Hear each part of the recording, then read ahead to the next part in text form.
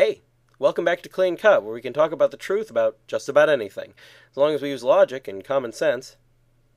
This season, we're looking at a few more heresies and heretical views denounced by the Church, and this time, Macedonianism.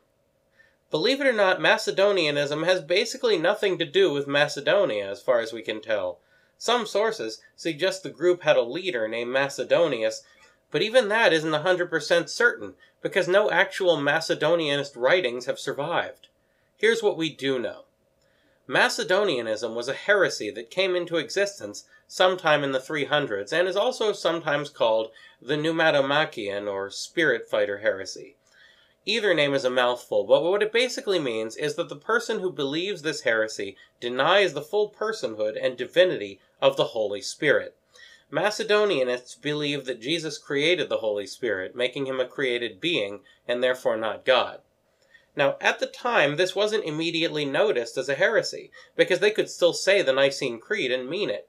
See, it didn't go into much detail on the Holy Spirit, just the words, I believe in the Holy Spirit.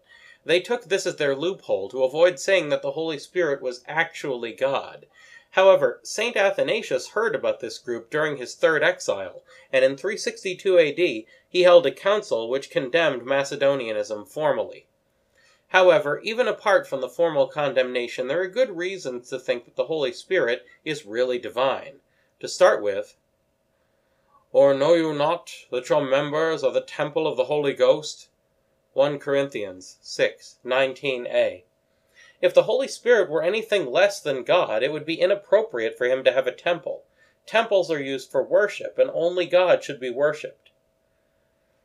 But Peter said, Ananias, why hath Satan tempted thy heart, that thou shouldst lie to the Holy Ghost? Why hast thou conceived this thing in thy heart? Thou hast not lied to men, but to God. Acts 5, 3a and 4b. Here we see that lying to the Holy Spirit is lying to God. Ergo, Now, the Lord is a Spirit, and where the Spirit of the Lord is, there is liberty. 2 Corinthians 3:17. Pretty self-explanatory that one. Next time, what's Donatism?